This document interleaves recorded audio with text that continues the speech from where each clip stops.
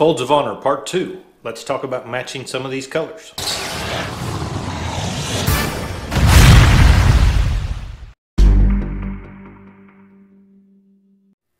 So the bodywork is complete. The two areas that I pointed out in part one of this series that required some additional attention have been taken care of. I repaired those areas and then followed that up with a skim coat of filler which was blocked out, sanded smooth before I sprayed several coats of a good high build primer on those repair areas. From that point I wet sanded both parts with 600 grit sandpaper. After cleaning them they were wet sanded and then they were cleaned again and now the parts are ready to accept paint. So at this stage we need to look at matching some of these colors. I generally prefer to match my colors using glossy photo paper for sprayouts. You can use any glossy photo paper. Brand is not a factor for this purpose. The reasons I like glossy photo paper is for one, it's relatively inexpensive. Two, you can find the stuff just about anywhere. And three, it doesn't absorb paint. So you don't have to worry about the paper wrinkling up or deforming in some other way once you've sprayed paint onto the surface. I'll take a sheet of the glossy photo paper and then I cut it into strips very similar to this. From there, I'll cut each of these strips into little rectangles like so, and I'll take a hole punch and punch a hole through the center or somewhere close to the center of each of these little rectangles. That allows me to do is I'll spray color onto these little rectangles and then I can overlay the rectangle onto the surface of the color that I'm trying to match anywhere on here and that allows me to isolate the color I'm trying to match directly against the color I've sprayed out. So it gives you a lot better chance of getting a good match for your color. One of the cool things about using these little spray out cards to match colors is this doesn't just apply to the automotive realm. I use these little spray out cards to match colors all the time in general artwork as well. I mentioned in part one that I had already been trying to match the blue on these motorcycle tins and I got fairly close. That was just a preliminary shot at mixing that blue color though. I wanted to be in the ballpark to make it easier when I actually go to mix the final color and I went through a lot of different combinations before I landed on that particular color. I had a few things working against me from the get-go though. For one, I don't necessarily like to try and match colors that are under a very glossy, nice clear coat. The glare that you get from the clear coat can change the way your eye sees the color and you can be slightly off. At the same time, I don't necessarily like to match colors on a clear coat that has been wet sanded and ready for more color either because the clear coat dulls the color underneath once it's been sanded. So what I've done is I've taken some UVLS gloss clear and I lightly misted just a very light layer over the blue and the metallic stars on this tank.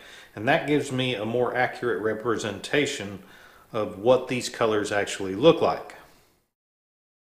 That's the easiest, most efficient method I have for matching multiple colors on a project that requires the entire part to be re-clear coated in the end anyway.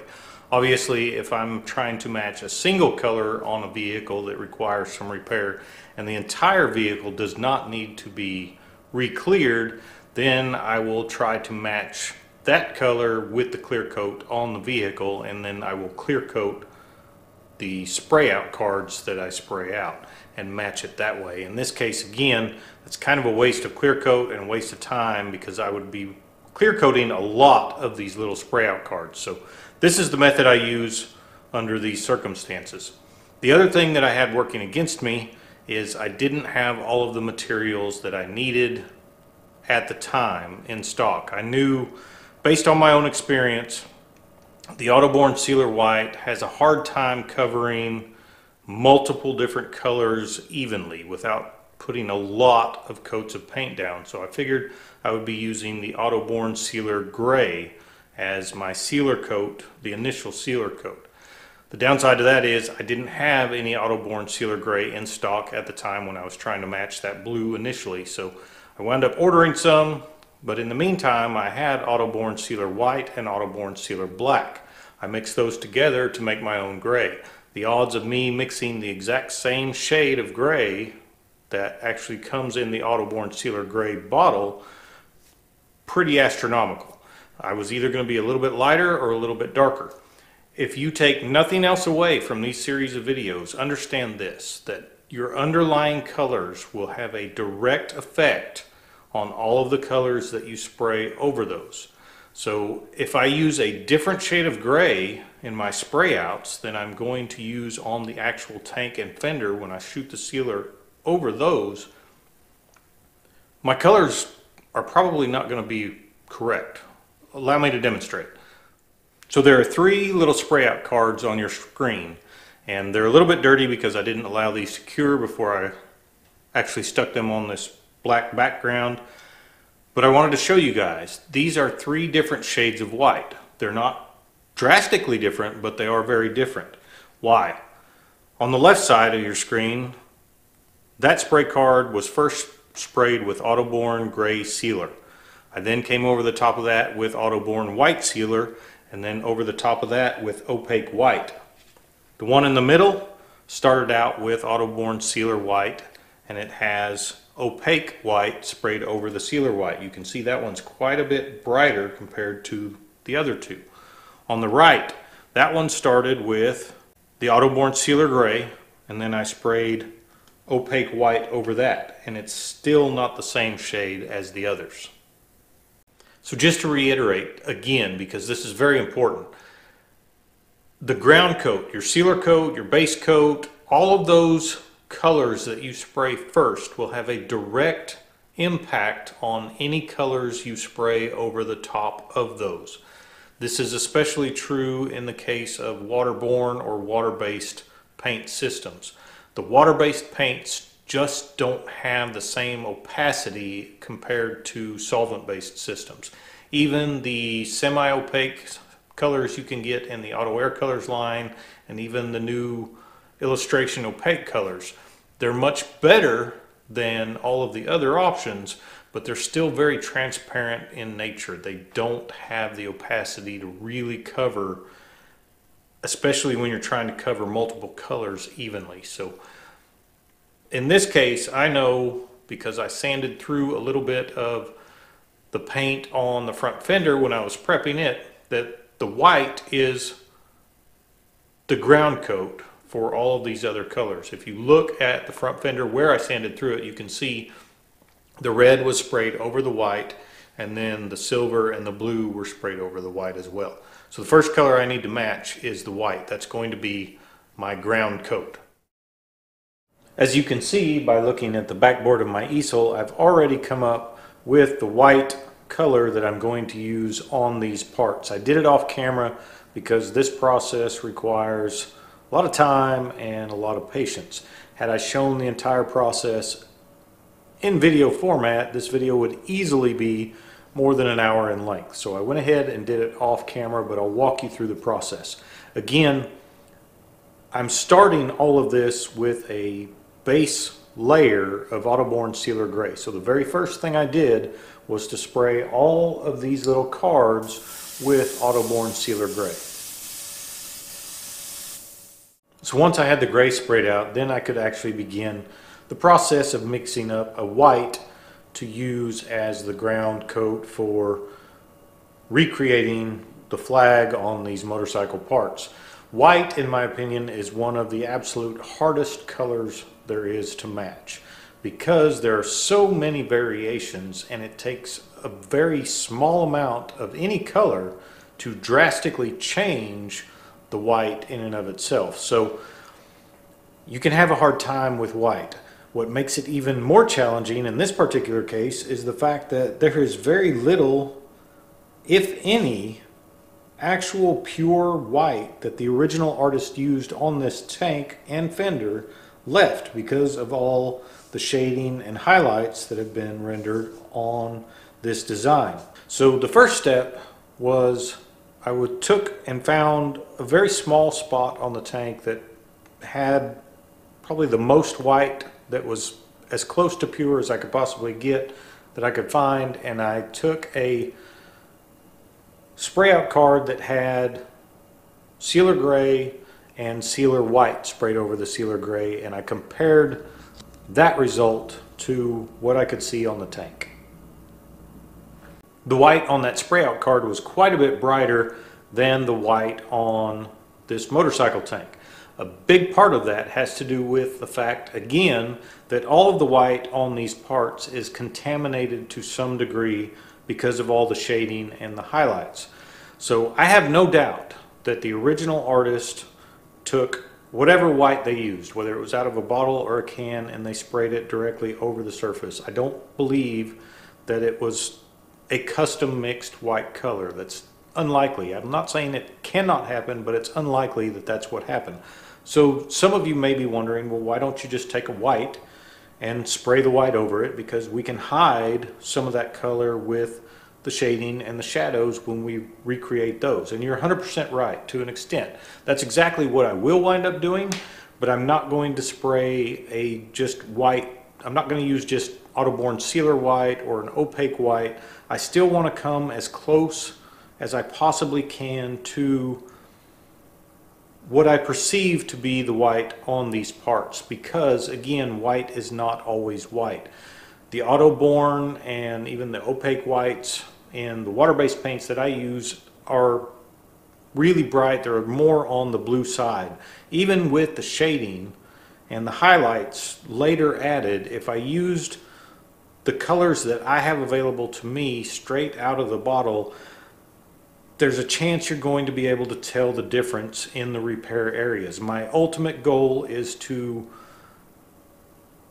at the end of the day, this should look like nothing was ever done to it. That's ultimately my goal. So I'm going to try, or I did try to mix up a color that was very close or as close as I could possibly get. It's not 100% dead on, but it's closer than just out of the bottle white. So what I did is I started with that chip that we looked at just a minute ago and based on that, that was a little too bright on the spray out card. This looks to me on these parts like the white is a little more of a cream color or an off-white. So I began with Autoborne Sealer White to mix up this color and I added just a very, very, very small amount of orange and a very small amount of yellow to that mix just to give myself a little bit more of a cream color. From there, I did another spray out and then I wasn't happy with those results. It was a little too far on the cream side, so I started adding very small increments of white back to the mix until I got to a point where I was relatively happy. In all, I wound up doing eight different tries before I got a result that I was happy with. And here you can see the spray card with the color on it that I'm going to use in the end. That white is pretty close. It's not dead on accurate, but it's a lot closer than just a white straight out of the bottle would be. And again, we can disguise that some when I begin adding the shadows and the highlights to the color. It will disguise all of that to some degree, and I think it will be very close to looking exactly like what's already on the tank. I was mixing the white using the Autoborne Sealer White for a very specific reason. So I added the orange and the yellow to Autoborne Sealer White. I know the Autoborne Sealer White has better covering qualities compared to any of the other water-based whites that I have available. And I need something that will cover the Autoborne Sealer Gray relatively easily. So that's why I chose to use the Autoborne Sealer White. But in the end, hopefully, you won't be able to tell my work where it ends and where the original artist's work begins, that's what we're going for. We'll see if it works out that way.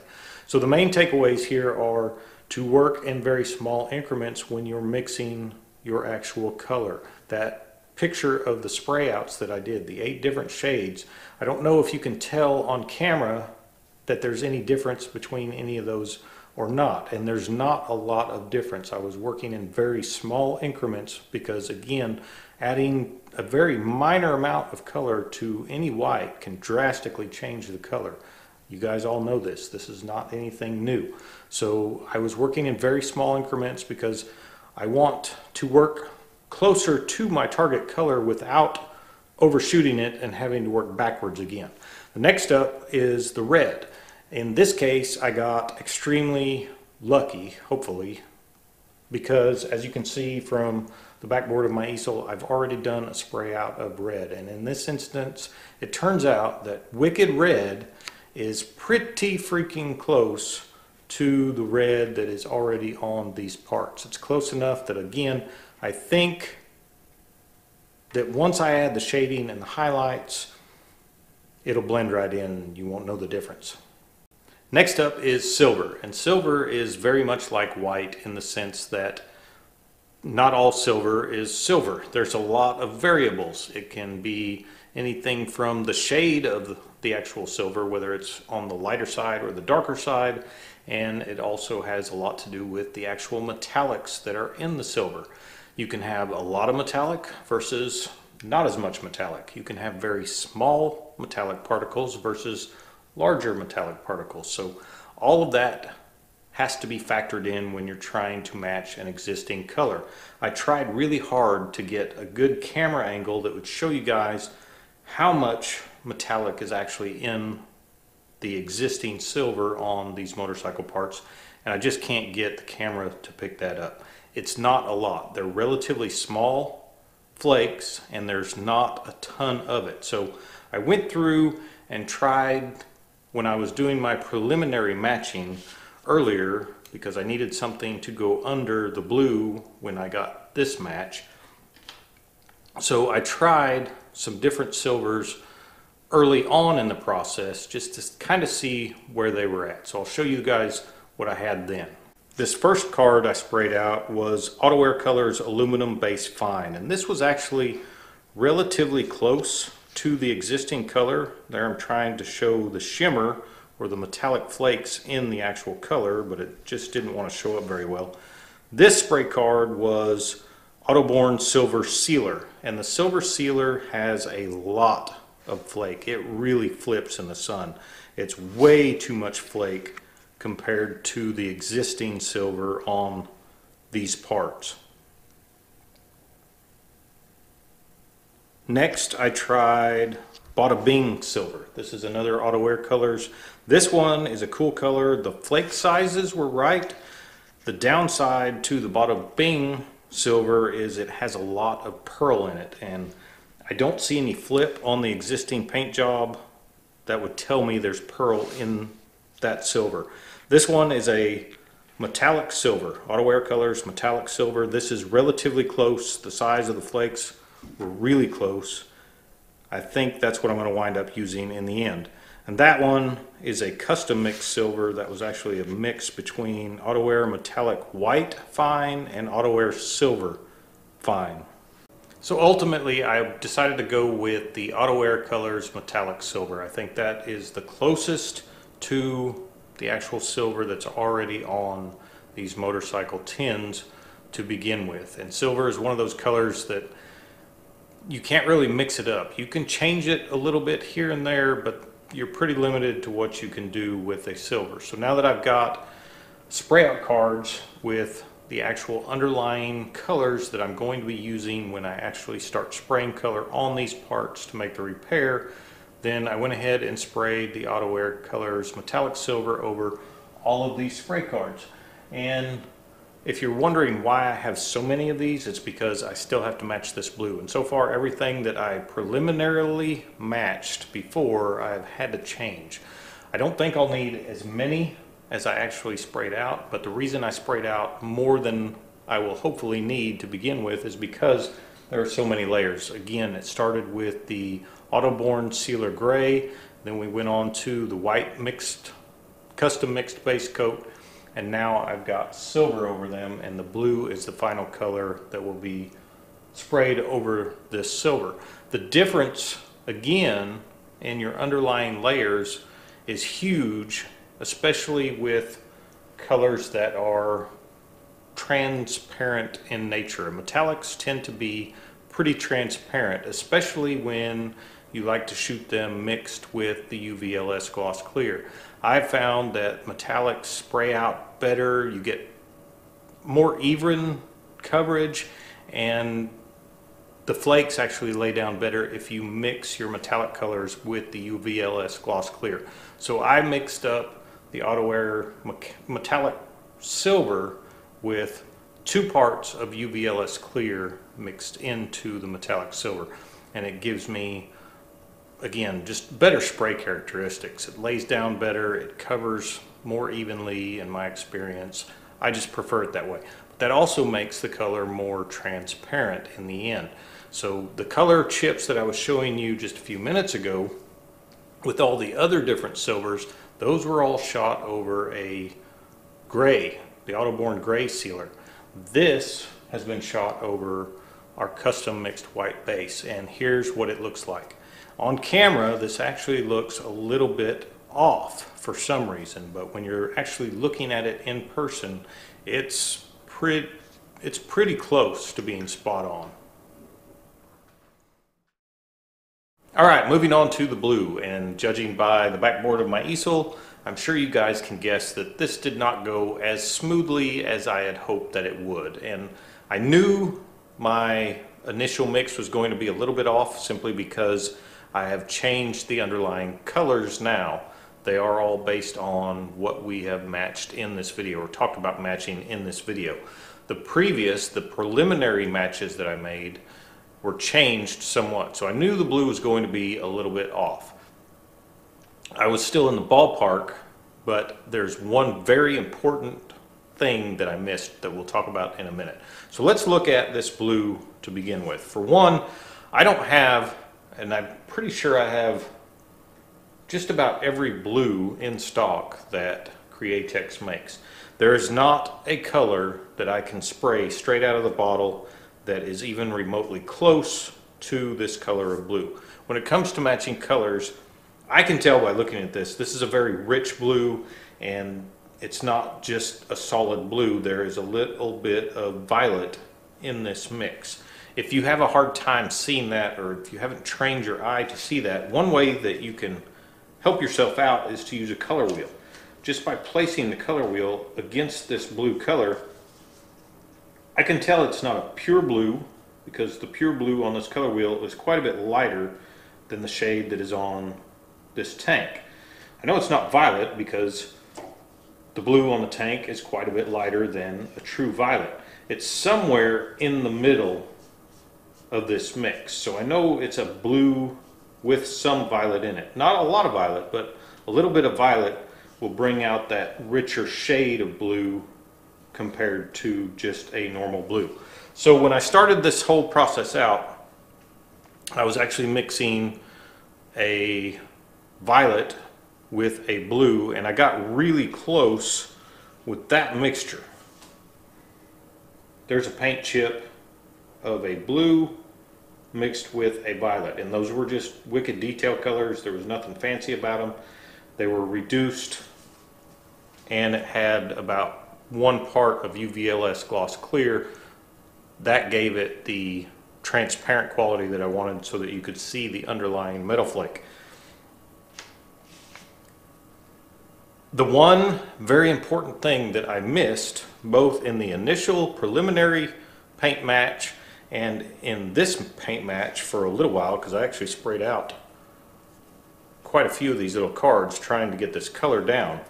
The one thing that I missed is I actually took this tank outside to check these colors out in the sunlight rather than just in the studio lights and I missed a very important thing because when you look at these colors, all of these are relatively close to this shade of blue. But what I noticed when I went outside under the sunlight is these colors, all of them, really popped. They really brightened up in direct sunlight. And so does the color on the tank. However, when you step off to the side at a side cast view, the color on the tank actually goes darker. It doesn't get brighter. So on direct cast, it brightens up considerably. You can really see the flakes and it just glows. It's a really nice color. But when you step off to the side and look at it from a side cast view, the color actually goes darker. And I've seen that a little bit in the studio holding a flashlight up. But I thought it was just my eyes tricking me while I was in the studio. When I was outside under the sun, I realized that that was not my eyes tricking me. That's a telltale sign that this color has pearl in it. That's what causes that flip for from a direct cast view, it glows, it brightens up, but then from the side cast view, it darkens out. So I had to completely change my approach, which meant all of these were no longer viable. I had to completely change the approach. So what I came up with is I started with Auto Air Pearlized Blue, which is a very bright, very light color shade of blue. It's not going to work in and of itself. I had to add something else to it. On top of the pearlized blue, I sprayed two coats of Auto Air Sparklescent Nightmare Blue, which also has a lot of pearl in it, and it has a lot of flip. And this is the color that I came up with. And you can't see the flip in the studio, but this color flips just like this tank does. So direct cast view, it brightens up considerably, but from a side cast view, it goes dark. So that is pretty close to this color. It may be about as close as I can get it. I may be able to get it slightly closer, but at this point I'm happy with the results for all of the color matches I have. Again, all of this process was done off camera just because it's time consuming. It requires time and it requires some patience. It's a guessing game. If I had put all this on video, that's another hour or more that this video would have been. So I hope all of this makes sense with me just kind of trying to talk you guys through it. Again, it just takes some time and some practice. The most important thing is make sure you write down specifically exactly how you mixed all of your colors, if you're actually mixing things, ratios, reduction, all of that makes a difference because you have to replicate this again when you go to actually put paint onto the surface of these tins. So I've got all of that wrote down so that I can replicate it 100% exactly the same way, right down to how many coats that I used, the whole nine yards. That's crucial information. I think with this blue I can probably go with one less coat of the Sparklescent Nightmare Blue, which is more of a violet. And that's what flipped this color closer compared to just the pearlized blue. But I'm happy with the results that I have at this point and the procrastination stage is now over. It's time to start putting paint on these parts. So in part three, that's what we're going to do. I hope you guys have got something out of this. If you did, remember to like, subscribe, and share. If you have questions, please leave them in the comments. I'll do my best to answer any questions that you might have. I'm Trevor with Wicked Art Studio, and I'll see you guys next time.